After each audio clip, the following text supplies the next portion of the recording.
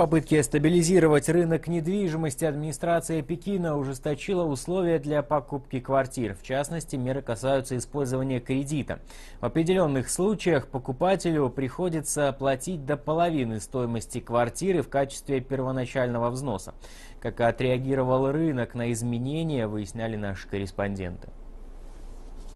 Пекине уже закрыли план по земельным аукционам за 2016 год. Продано всего 13 участков общей площадью 850 тысяч квадратных метров. Это минимальная цифра по продажам за 5 лет. Основная причина снижения в том, что часть земли на продажу предназначена для строительства гарантированного жилья и доступных домов нового типа, то есть для жизни людей, не для коммерческих целей.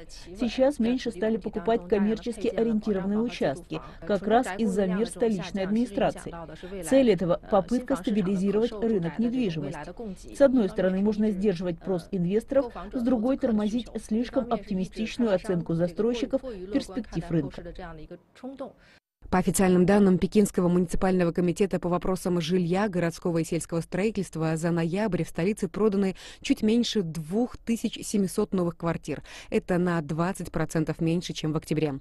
По сравнению с ноябрьским показателем 2015 года цифра ниже почти на 33%. Тем временем снизились сделки и на вторичном рынке недвижимости. За последнюю неделю сентября были заключены контракты на продажу 9400 квартир, однако после этого этого за последние два месяца недельный объем заключения контрактов уже сократился с 6 тысяч до 4.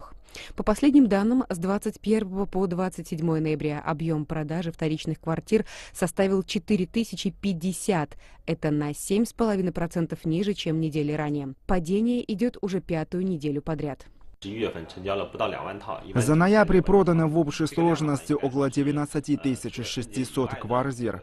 Можно сказать, что это минимум за последние полтора года. Политика регулирования рынка недвижимости действительно сдерживает, особенно желание тех, кто вынужден продать свою квартиру, чтобы купить новую. Однако растет рынок аренды жилья в Пекине. Ноябрьский показатель на 15% выше, чем в октябре.